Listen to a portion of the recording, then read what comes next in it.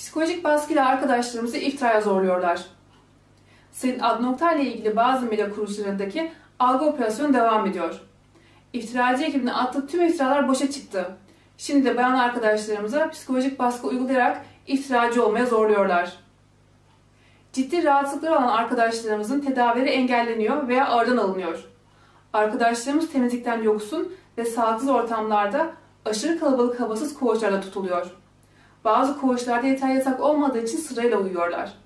Cezaevleri çok soğuk.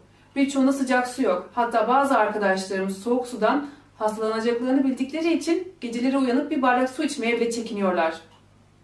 Ağır kanser hastaları hijyensiz ortamlarda tutuluyor ve gereken tedavileri yapılmıyor. Kısacası cezaevlerinde zaten rahatsız olan bazı arkadaşlarımızın daha da ağır hastalanmalarına uygun bir ortam oluyor. Tüm bu olumsuzluklar içinde yaşayan arkadaşlarımızın zayıf durumlarından istifade etmeye çalışanlar diyor ki, buradan çıkamazsınız, burada çıkmanın tek yolu itirafçı olmak. Elbette dava dosyası boş olduğu için, ortada suç olmadığı için itiraf edecek bir şey yok. Geriye ise sadece iftira atmak kalıyor. Yani genç masum bayan arkadaşlarımız can havliyle cezaevinden çıkıp tedavi olmak için arkadaşlarına iftira atmaya zorlanıyorlar. Tertemiz hiçbir suç işlememiş arkadaşlarımıza iftiracı olmaları için sürekli psikolojik baskı uygulayanlar ise bize husumet besleyen iftiracı bir ekip. Konuyu yakından takip edenler fark etmiştir.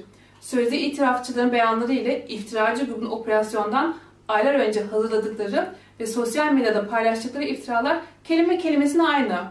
Psikolojik baskı nedeni işte bundan ibaret. Arkadaşlarımızın psikolojik durumlarını alt üst etmek ve böylece yeni iftiracılar üretmek. Bizler Türk adaletine güveniyoruz ve iftiracıların hüsrana uğrayacağına inanıyoruz.